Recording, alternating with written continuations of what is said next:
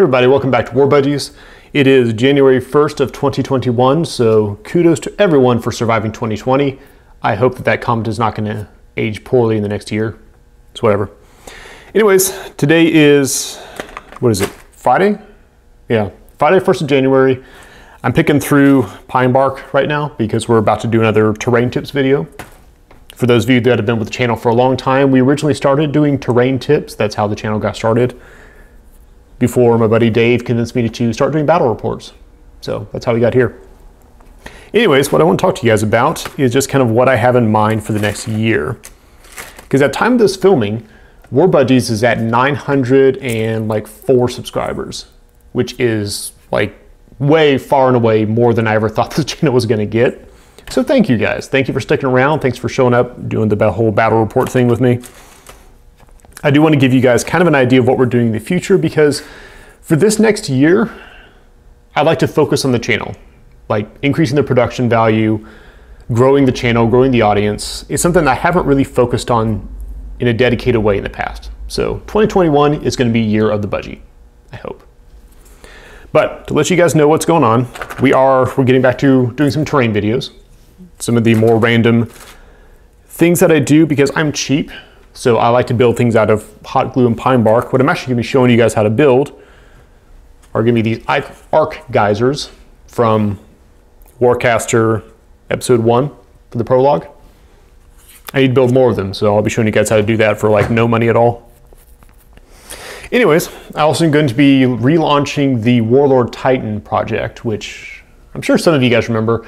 I haven't haven't worked on it much the past year partly because grad school, partly because he broke pretty badly on the move here to Virginia, and uh, just I have not had the motivation to pick him up again. But I need to. I need to finish that project.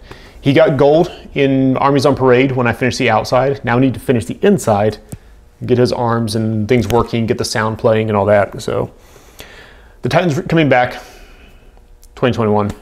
I'm already getting very ambitious here. As far as battle reports go, I've already talked a little bit in previous videos about Fallout Season 3. That is coming probably towards the end of January. I'll look to get the first episode out. And for those of you that don't that didn't catch the previous video, it's going to be a choose your own narrative campaign format. So I'm going to make a post, I'll post a battle report, and then I'll give you guys some options to choose what the characters do next, and then that will lead to another battle report, and so on and so forth. I don't have a set time or a number of episodes, but I'd like to do it for a while. Probably be every, it's probably gonna be an every other week thing, so I have time to write scenarios, test scenarios, and build terrain and all that. But we're doing settlement mode, we're doing choose your own narrative campaign, all that kind of stuff. It's gonna be fun. Warcaster is also coming back. We finished up the Jericho Reach prologue last month. So that was a three episode prologue of just introducing you to the factions in the world of Jericho Reach. We're gonna be launching the full season of that. I don't know how many episodes yet. Got to map that out. But that will be also here in the new year. Probably late Jan, early February. I want to film a few episodes in advance so I got a buffer, you know, so I, I don't cheap out on you guys.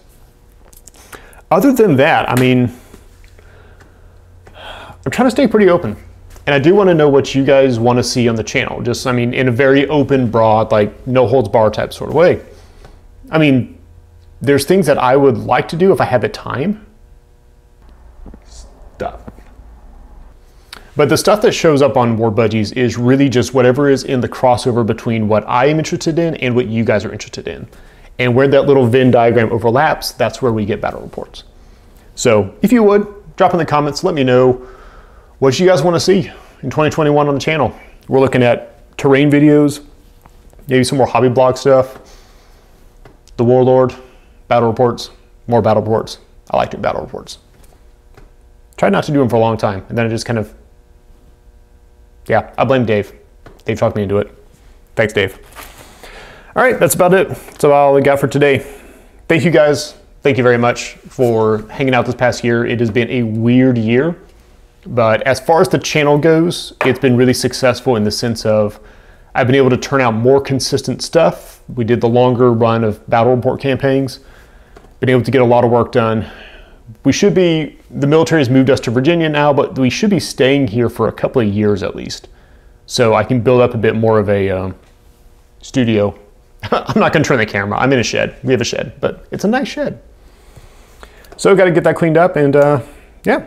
Otherwise, happy New Year. Thanks for sticking around. Look forward to 2020. Thanks for watching.